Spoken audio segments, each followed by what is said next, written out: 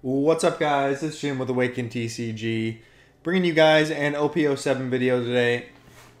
Today we're going to be talking about the deck and leader I am most looking forward to in OP07, and that, as you can see on screen, is going to be none other than the new black Rob Lucci leader. A um, little bit of background, upon first seeing this leader, I thought his effect was very lame. Um, really vanilla and just not very fun. Um, and I was not looking forward to it at all. I actually played the original Black Lucci leader back in OP03.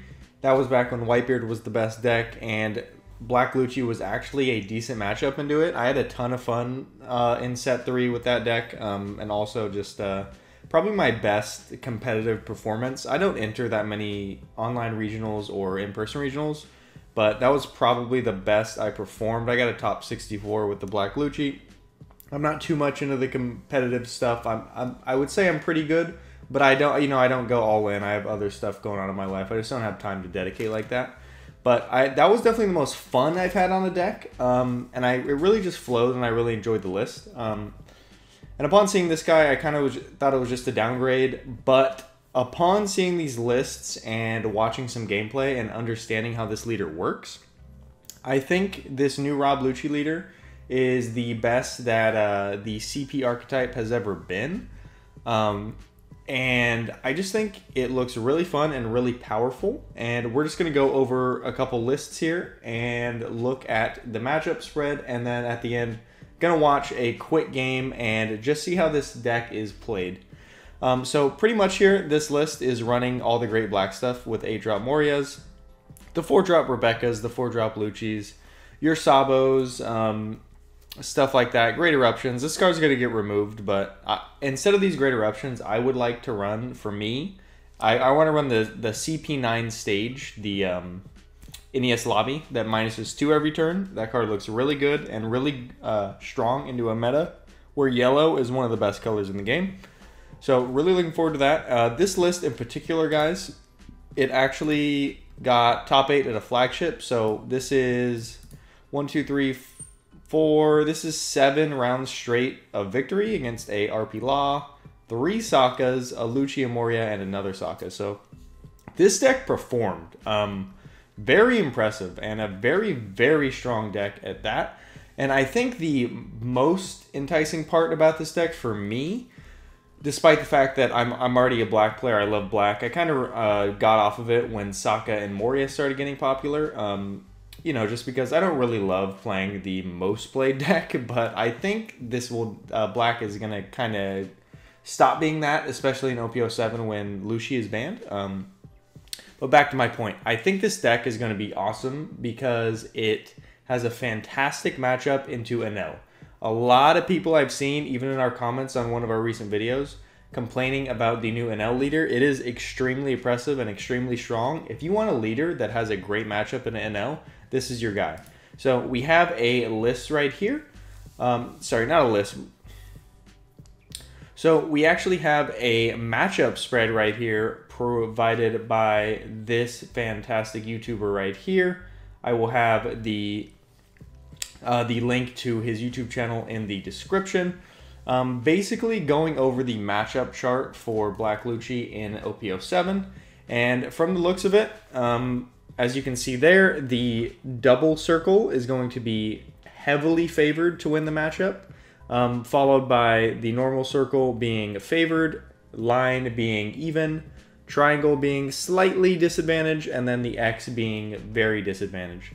Um, so as you can see, we have right here, uh, extreme advantage in Enel. This is an amazing matchup, and as someone that hates playing to Enel into Enel and losing to Enel, um, to have one of the leaders I'm looking most forward to have a good matchup to him is just really awesome. So if you guys don't like Enel and you like black, but you don't want to play Saka or Moria, I think this is a great deck for you.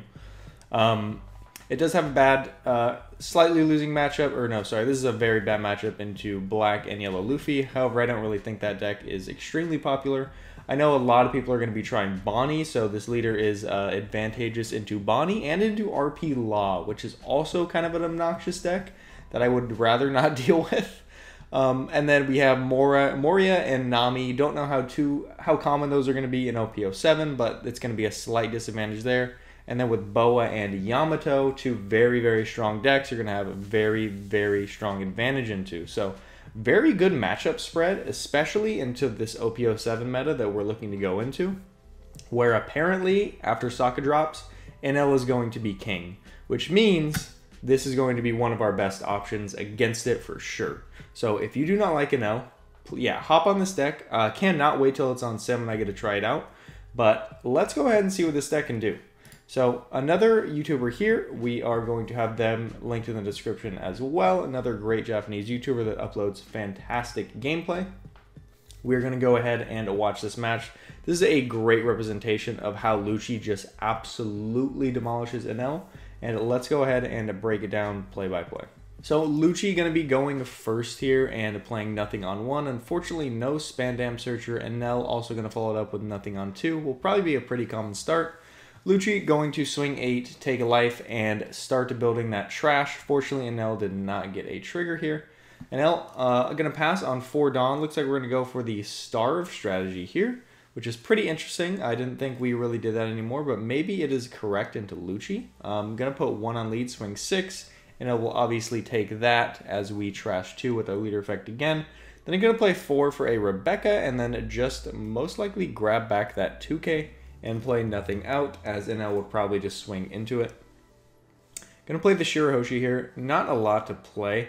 I don't know the exact most common lines for NL, but from the lists I've seen, you run a lot of big bodies. So on turns like this, it might be a bit awkward before you get to your 8, 9, 10 DON turns. Um, going to trash a couple cards there and pass back to Lucci. Not Probably wanting to keep that life pretty high if we're trying to KO things with Yamato. Gonna swing six again with Lucci. Going to trash two again, and going to take, really looking for these triggers. And gonna look at the trash right now for this trigger. Not sure what trigger would be we'd be con contemplating for that. Um, it's going to be the new six cost event trigger. Not actually 100% sure what that does, but Lucci gonna go ahead and play an Enies Lobby followed by a Kalifa, which is actually not a great start for this deck. Um, obviously, there's not really anything on board we can remove. So maybe uh, one of the best options right now, just kind of cycling, looking through our deck, getting ready to remove these big bodies, which is what this deck is good at. Katakuri gonna play that, uh, sorry, Enel gonna play that Katakuri, putting Shirahoshi at the top of the life and not swinging once again. Don't know if I 100% agree with this strategy, but I'm assuming this player knows what they're doing.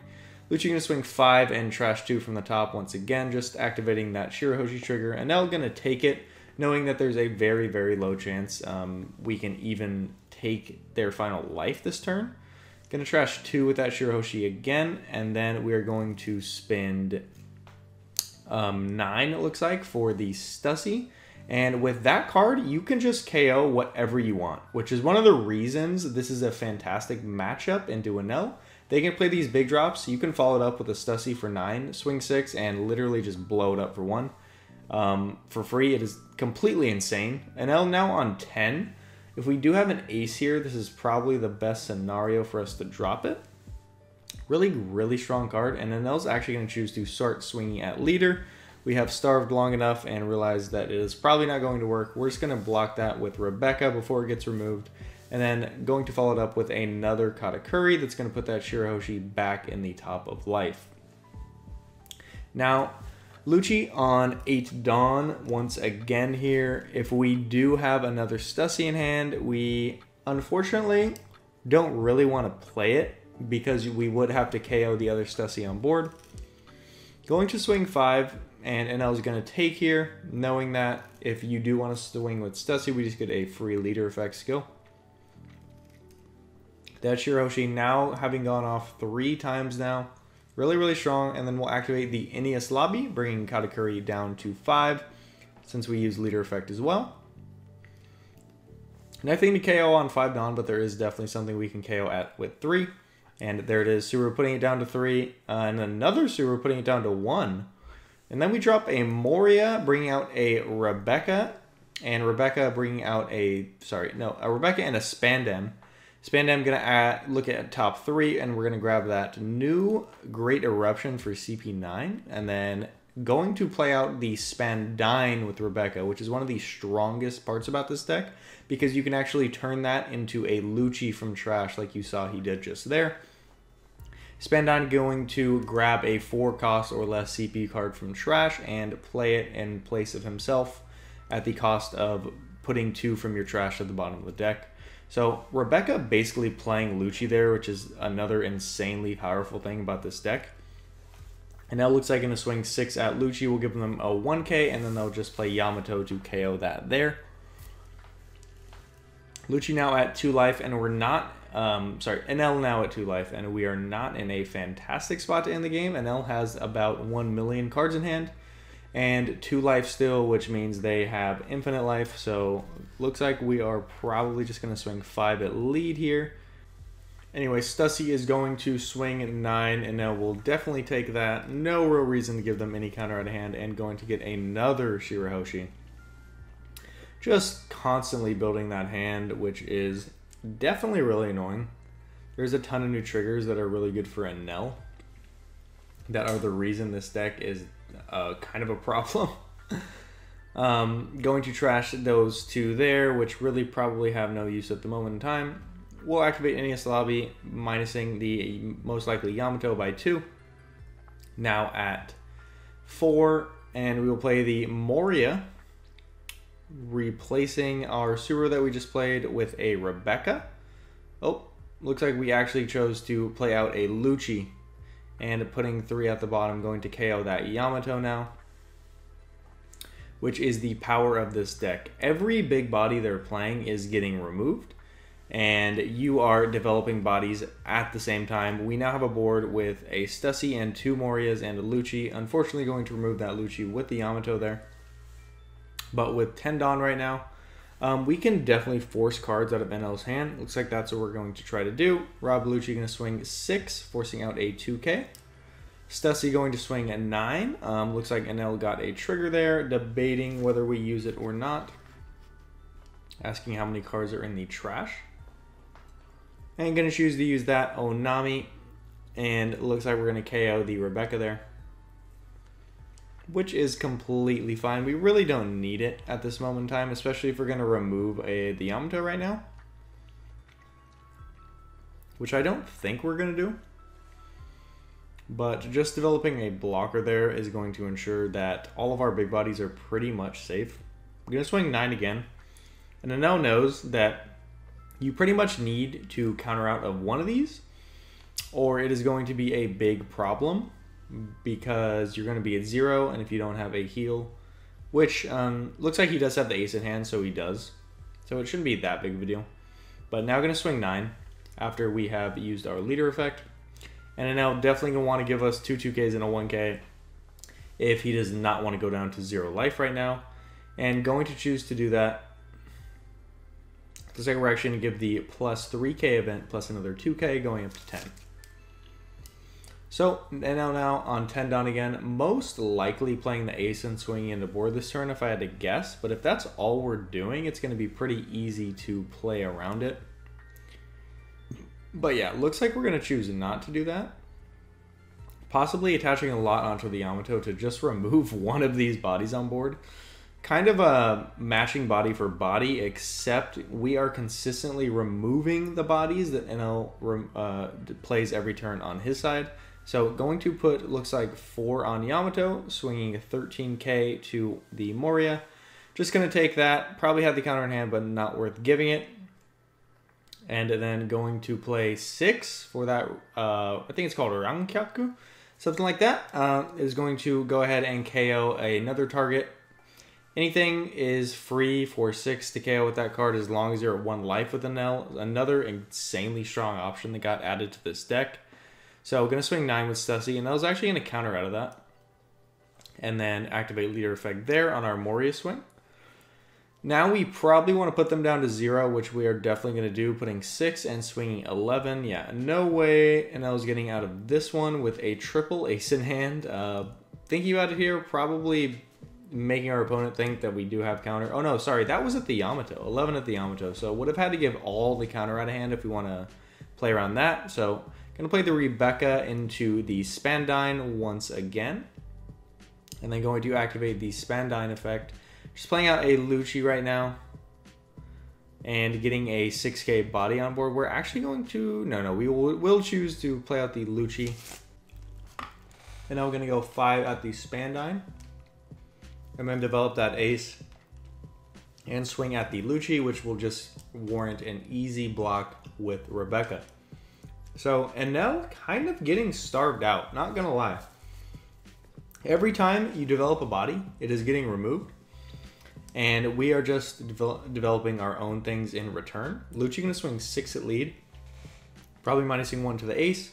Gonna swing another nine, and then we'll actually play another Stussy Going to KO that ace for free, which is pretty ridiculous and shows why this matchup is not Enel favored. Um, Enel gonna basically quickly play another ace. Looking at the trash, probably seeing how many 2Ks have been used. See if he wants to swing at either leader or the Moria here. Because um, if we do have the 2K in hand, it is a pretty easy counter. But he's actually going to choose not to swing at all, um, fearing that uh, the crackback into the ace will pretty much be the end of Enel.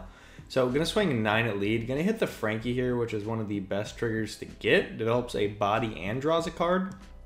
Another reason Enel is so strong this set. Uh, we're actually going to put 1 on Stussy, it looks like, and swing 10.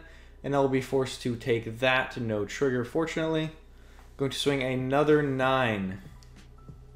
Looks like Enel has the counter in hand, but it would have to be everything in hand, and yeah. Going to give all of that. So just going to swing with Lucci here. 6k, as we know there's no 2ks since he just gave us three ones.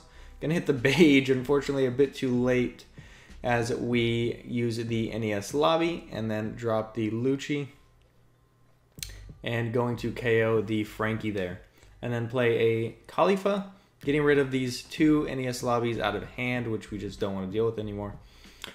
Rob Lucci's still at 5 life, if you guys haven't noticed. Um, and I've been trying to do board control, but unfortunately it's a bit futile, especially with two cards in hand right now. And this board, there's really no winning this, so we're just going to go 7. So we got no trigger there. Gonna actually choose to keep the Frankie in hand since we need the counter. Um, another trigger going to pop and KO the Kalifa, which is no big deal, and that is going to be the game. And that is going to be the video, ladies and gentlemen. Thank you for watching. Um, definitely an interesting one. Uh, just kind of wanted to make an all-encompassing video on OP07 Lucci and why I am excited for it. Really looking forward to this deck. Um, looks like the second coming of Black Lucci from OP03, which I just had a ton of fun with. So hopefully this can be uh, my introduction back into the competitive scene because I've mostly been playing off meta decks for the most part, but this is the first semi meta deck it looks like that I'm really looking forward to playing. So um, look forward to that, guys, in OP07. If you want to play Rob Lucci, let me know in the comments down below. And let me know if you want me to do a deep dive on any other of these OP07 leaders, just so you guys can check out what they've got in store and what impact they're going to make on the meta in OP07. But anyways, I'm going to head out of here, guys. Thanks for watching. Please like and subscribe, and I am out of here. Peace.